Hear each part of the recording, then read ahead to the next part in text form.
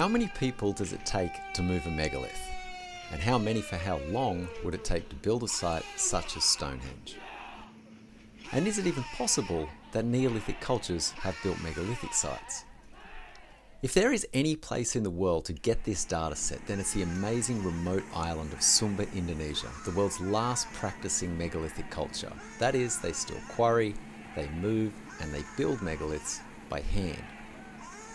And the purpose of the move is to build a dolmen style tomb for a deceased relative. The more powerful or affluent the deceased, the bigger the megalith. When I saw this video and a couple of others like it, and all the links are in the description, I headed to Sumba to get a real world data set to answer these questions.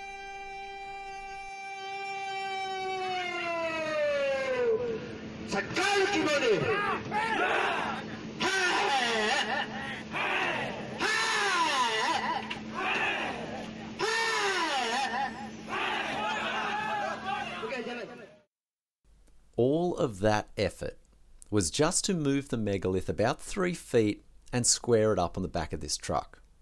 If that's the manpower required to move three feet, is it possible Stonehenge stones were moved by similar methods for hundreds of kilometres? They are similar weight and they are similar shape. It might just seem a bit much that Neolithic or Mesolithic humans living in small nomadic groups could organise themselves to get this data set, we travel to Sumba and talk to the elders and the administrators, the keeper of these historic records. And most of the moves that were used in this data set are actually quite old. Because most of the modern day moves are only done by hand onto the truck, then the truck moves the megalith, then it's moved off the truck by hand. So this is still an important data set to see difficulty. How difficult is it to move a 30 ton stone down a 1 meter vertical drop, such as this video? But we wanted greater distance to get a more reliable average. And although the data sets are mostly from between 1950s to 1990s, we actually found a method of checking the validity of the numbers, but I'll get to that a little bit later. And in the next video, I'll address why academia always implies or flat out states that moving megaliths is easy. I'll also talk about the main fallacy that they make, the linear relationship between weight and difficulty, and unfortunately, the likely reason that they continue this narrative. Because I can't imagine anyone seeing these videos and immediately thought how easy it was to move megaliths. I'll even touch on the more, let's just be honest, utterly idiotic academic theories that are promoted. But that's in the next video, so please subscribe. So for now, the real world numbers, moving megaliths on skids or rollers. The largest megalith we found in Sumba was this 70 tonner that came from a quarry about 3 kilometres away and took about 3 months to move. That's an average of about 30 metres per day. And I've put the pins in the description and the sites with some KMZ and some pictures are on my blog so you can just double click on them and it'll open up and you'll see each site and what they look like. I've also put in the contact details of a local guide. If you do get a chance to Sumba, it is a magic place, no tourists, well worth the trip. So this megalith took 5,000 men, three months, to move the 70 tons, three kilometers by hand, just skids and rollers. For a 50 ton megalith, it took 2,700 men to move about 1.5 kilometers and it was in about five or six weeks, again about one kilometer per month. For 20 to 30 ton megaliths, we did have more data, as some of the moves may have been more difficult than others, but if we take the minimum number of people, we can see what the minimum amount of people would be to move a megalith of that size, and it fits an exponential curve. That is, the relationship between weight and difficulty is not linear. It looks like a curve. About a doubling of manpower for every 75% increase in weight is a pretty good fit. The interesting thing about this data was that all of the larger megaliths, without exception, took about one month to move one kilometre, some a little more, some a little less, but fairly consistent. There was also tales of stones that moved great distances in the past, but we couldn't actually get accurate timeframes for these moves or in fact verify where the quarry was, so I've left them out of the calculation. The smaller megaliths of Sumba, about 1 to 5 tons, are often moved very quickly, sometimes with hundreds of people taking turns at a very brisk walking pace. So in this video, I'll just assess the larger stones that are similar in size to the larger stones of Stonehenge. This is of course a very big problem already for the orthodox Mesolithic or Neolithic builder hypothesis. This is because it's widely accepted that at the time Stonehenge was apparently constructed, only a handful of people lived at the Stonehenge site, not thousands. Even in the later phases of Stonehenge, the numbers of people who lived at the site are only a hundred or so. And yes, I'll address the 40 men can pull 40 ton nonsense in the next video. So next we need to calculate how long it would take 2,000 men to move one of these stones as the rate of the move doesn't really change between 15 tons and 70 tons, that is, it's about one kilometre per month, the largest stones of Stonehenge were quarried 32 kilometres away. It would take 32 months, or over two years, to move one stone from the quarry to the site. As there are 75 of these stones, it would take these 2,000 men about 200 years to move the stones. And some of the stones are smaller, but even for a 20 ton stone, the rate of movement was exactly the same. Now, this is certainly problematic for a few reasons. Firstly, all of the megaliths of Sumba are moved on formed roads. So, this number, this calculation we've made of 2,000 men taking 200 years, is if the small groups of hunter gatherers also had machine compacted roads, which they most certainly didn't. And I haven't made a mathematical formula to try to factor in this increase in time, but I can give a real world example. This picture perfect 10 to 15 ton stone in Weeputundo, and the pin and the images are in the description, was cut from a quarry just 67 meters from the final resting place of the megalith.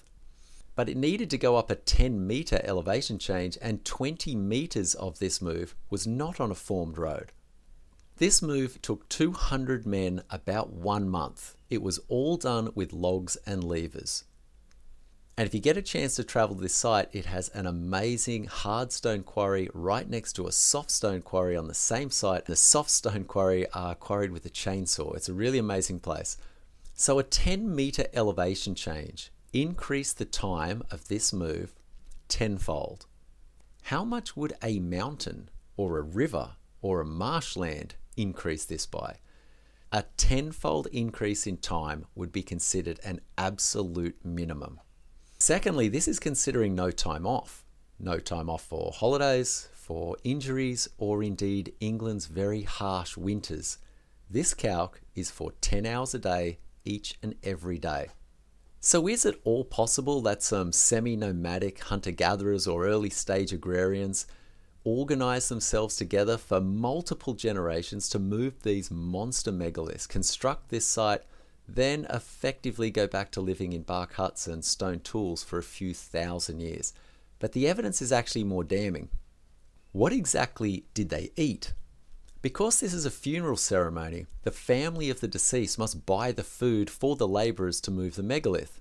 So we know exactly the caloric intake of the workers, how much they ate.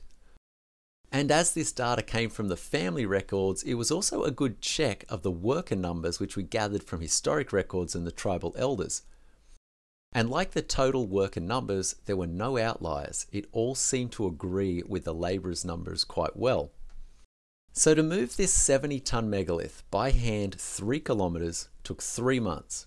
And in that time, the 5,000 labourers ate 160 buffalo, 5,000 pigs and over 100,000 chickens, as well as about 100,000 sacks of rice.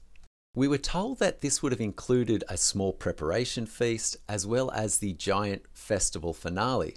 And this was one of the largest festivals in Sumba's megalithic moving history. Apparently, a considerable proportion of the rice and many of the buffalo would have been eaten at the final festival, but the vast bulk of the other food was consumed during the move.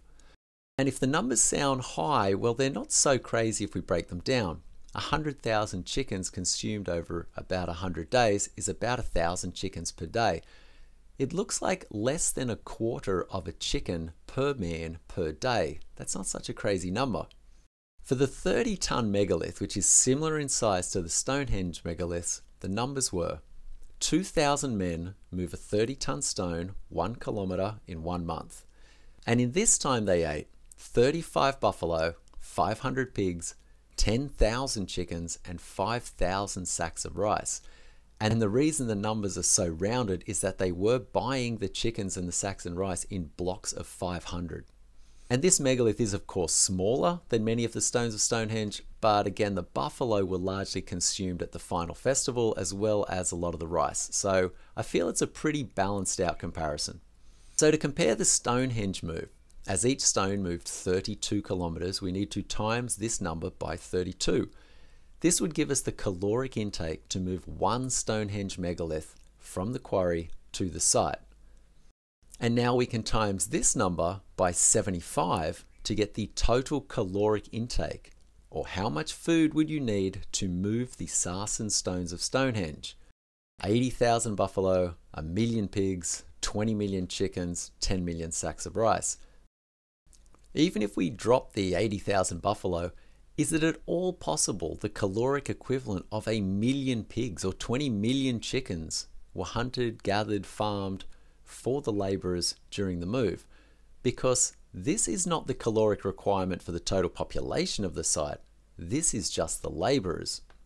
This doesn't include the caloric requirement for the other tribes' men and women. If this is the caloric intake for the labourers alone, there would need to be at least four times as many people in the group. There would be elders, there'd be women and children, etc., etc. And of course, there would also need to be an enormous amount of people undertaking the enormous effort to gather these calories. And again, this doesn't include the difficulty increase for terrain. These calcs are only on machined, formed, and compacted roads, remembering the 10 ton example where a small 10 meter elevation rise increased the time tenfold. And of course, no delays for winter, injury, days off, etc. And when we're looking at best case scenario being maybe a quarter of a billion chickens, we also have to remember we didn't include the bluestones. They were moved a total of 20,000 kilometers. And it also doesn't include the actual time for quarrying. And the quarry time frame is enormous. This 15 ton stone took two years to quarry by hand with eight men who had hardened modern metal chisels and sledgehammers while the builders of Neolithic Britain apparently had deer antler. And of course, it doesn't include the actual construction time. This same stone took three weeks to jack up with mechanical truck jacks and position with two dozen men, and it just had to be lifted and lowered with mechanical aid. And remember, as the time frame increases for the quarrying and construction, so does the caloric intake. So, how ridiculous do these numbers have to get before we openly and transparently question this Neolithic construction hypothesis. Because I would consider there must be very, very strong evidence that the Mesolithic or Neolithic people built Stonehenge to even consider continuing this as a narrative. So, what is the evidence exactly? What is the evidence that makes academics so certain, preventing the broader examination of ideas that Neolithic cultures built Stonehenge? And the answer is Nothing. Not a single item of evidence. There is good evidence that Mesolithic people lived at the site after it was constructed. That is why the theory must include Mesolithic cultures. It can be proven they were at the site after the construction. There are small fires, there's pieces of bone, there's stone tools. Similarly, with Neolithic cultures, they certainly lived at the site after its construction, and why wouldn't they? I'm sure just like every culture in every era that has come across this amazing site, they would have marveled at its beauty, possibly rebuilt parts of it if they had the manpower and capacity to do so, and they would have embedded it into their myths and wondered at its true purpose. But they didn't build it. This is why academic articles increase in truly perplexing nonsense rhetoric. Because if it was not easy for a few dozen people to build Stonehenge, then they may need to reconsider the same flimsy evidence for all of the world's megalithic construction. This is because Stonehenge stones are not large in megalithic standards. In fact, they're very small. And the following same math undertaken for the difficulty in moving a 40 ton stone, the manpower required, the caloric intake, it puts a huge question mark over any megalithic site. And as a final clip and a bit of a precursor to the next video where I'll assess the academic claims, this is UCL's archaeology department pulling a one ton stone. They moved this one ton stone with 10 people about 10 feet. It is a tiny megalith moved a tiny distance, and they make some outrageous claims from this. One of those is that Stonehenge stones could have been moved with as few as 40 people. 40 tons, 40 people, and it should be easy. In comparison, since I'm not an academic, I live in the real world, this is a real world example. Our calculation from the graph would suggest 2,000 people would be needed, not 40. Well, this is 400 people and a massive truck moving a 40 ton stone up a 2 meter rise. Let's see how easy it is. Enjoy.